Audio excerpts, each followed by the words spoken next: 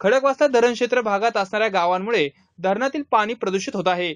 यामुळे भविष्याचा विचार करता पुणे महानगरपालिका आणि जिल्हा परिषदेच्या माध्यमातून पाणी स्वच्छतेची मोहीम कार्यान्वित करण्यासाठी धरणाच्या बाजूने प्रत्येक गावांसाठी सीईटीपी प्लांट बसवण्याच्या प्रस्तावाला स्थायी समितीच्या बैठकीत मंजुरी देण्यात आल्याची माहिती स्थायी समिती अध्यक्ष बाळासाहेब बोडके यांनी दिली.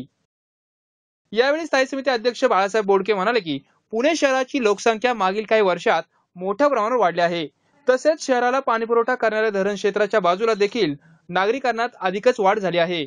त्यामुळे या धरणामध्ये त्या परिसरातील प्रदूषित पाणी जात असून याचे गांभीर्य लक्षात घेता पुणे शहरातील नागरिकांना भविष्यात विविध आजारांना सामोरे जावे लागण्याची शक्यता पाहता पुणे महानगरपालिका आणि जिल्हा परिषदेच्या माध्यमातून पाणी स्वच्छतेची मोहीम कार्यान्वित करण्यासाठी धरणाच्या बाजूने प्रत्येक गावांसाठी सीईटीपी प्लांट बसवण्यात यावा. या प्रस्तावावर दीर्घकाळ चर्चा देखील करण्यात आली. अखेर हा प्रस्ताव एकमताने मंजूर करण्यात आला आहे. अशी माहिती त्यांनी यावेळी दिली.